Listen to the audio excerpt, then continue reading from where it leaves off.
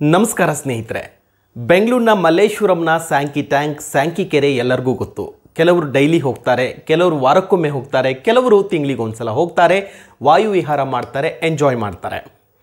ಆದರೆ ಆ Sankey tank ಎದುರುಗಡೆ ಕೆಲವೊಂದು ಪಾನೀಯಗಳು, ಕೆಲವೊಂದು ರೀತಿಯ ತಿನಿಸುಗಳು ನ್ಯಾಚುರಲ್ ಆಗಿ ಸಿಗುತ್ತೆ. ಅಂಥದ್ರಲ್ಲೊಂದು, ಒಂದು ವಿಶಿಷ್ಟವಾದ ಸಾವಯವ ಧಾನ್ಯಗಳ ಒಂದು ಸೂಪ್ ಸಿಗುತ್ತೆ. ಆನಂತರ ಅದನ್ನು ಬೇಯಿಸಿ ಅದನ್ನು ಕಿಚಡಿ ರೀತಿಯಲ್ಲಿ ಮಾಡಿಕೊಡ್ತಾರೆ. ಅದನ್ನು ತಿಂದರೆ ನಿಜಕ್ಕೂ ಕೂಡ ಅದ್ಭುತವಾದಂಥ ಟೇಸ್ಟ್ ತೋರಿಸ್ತೀನಿ ಅವ್ರ ಬಾಯಲ್ಲೇ ಅದರ ಒಂದು ವಿಷಯವನ್ನು ತಿಳಿಸ್ತೀನಿ. ಎಂಜಾಯ್ ಮಾಡಿ.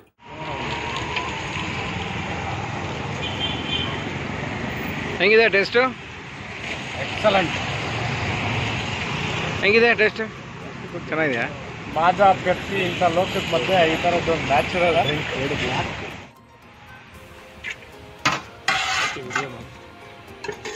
ಯೂಟ್ಯೂಬ್ ಹಾಕೋಣ.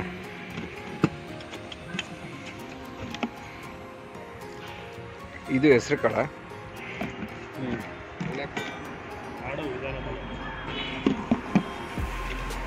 ಜ್ಯೂಸ್ ತೆಗಿ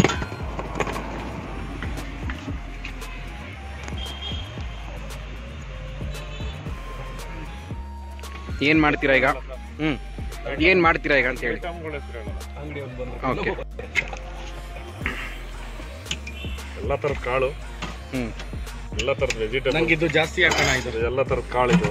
ಓಕೆ ಮಿಕ್ಸು ನಿಂಬೆಹಣ್ಣು ಐಟಮ್ಗಳೆಲ್ಲ ತೋರಿಸ್ಬಿಡಿ ಸರ್ ಇಲ್ಲ ಇಲ್ಲ. ಕಾಪಿ ಮಾಡೋದು ಇದಾಗ್ಬಿಡ್ತದೆ Copyright. ತುಮಕೂರವ್ರು ಬಿಡೋಣ. ಎಲ್ಲ ಥರದ ಕಾಳು ಆಯ್ತಾ? ನಿಂಬೆಹಣ್ಣು ಇದೆಲ್ಲ ಥರದ ವೆಜಿಟೇಬಲ್ಸ್ ಮ್ಯಾಂಗೋ ಕೋಮೋ ಜಾಸ್ತಿ ಹಾಕೋದು. ಹಾಂ ಹಂಗೆ. ಸೂಪರ್. ಈ ಕಾಳು ನಂಗೆ ಜಾಸ್ತಿ ಹಾಕಿದ್ದು. ಹೆಸರು ಕಾಳು ಜಾಸ್ತಿ ಇದೇನು ಕಾರಣ spicy with masala healthy masala chaat? ಎಲ್ಲ homemade own no readymade only home ಈಗ ಕಾಯಿಸಿರೋದು ಖಾಲಿ ಆದ್ಮೇಲೆ ಹಸಿದು. ಹಸಿದೆ.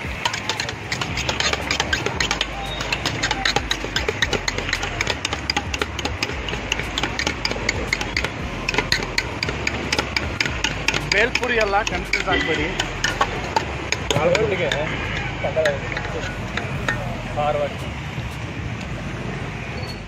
ನೋಡಿದ್ರಲ್ವಾ? ಟೇಸ್ಟ್ ಮಾಡಿದ್ರಾ? ನಾನು ಕೂಡ ಅದನ್ನು ಎಂಜಾಯ್ ಮಾಡಿದ್ದೀನಿ ಚೆನ್ನಾಗಿತ್ತು. ನೀವು ಮಲ್ಲೇಶ್ವರಂಗೆ ಹೋದರೆ ಸ್ಯಾಂಕಿ ಟ್ಯಾಂಕ್ ಹೋದರೆ ದಯವಿಟ್ಟು ಒಮ್ಮೆ ಅದನ್ನು ಎಂಜಾಯ್ ಮಾಡಿ ಆ ನಂತರ ಅದರ ಸವಿಯನ್ನು ಮನಸ್ಸಲ್ಲಿಟ್ಕೊಡಿ ನಿಮಗೆ ಈ ಸ್ಟೋರಿ ಇಷ್ಟ ಆಯಿತು ಅನ್ಕೋತೀನಿ. ದಯವಿಟ್ಟು ಸಬ್ಸ್ಕ್ರೈಬ್ ಮಾಡಿ ಕಮೆಂಟ್ ಹಾಕಿ. Thank you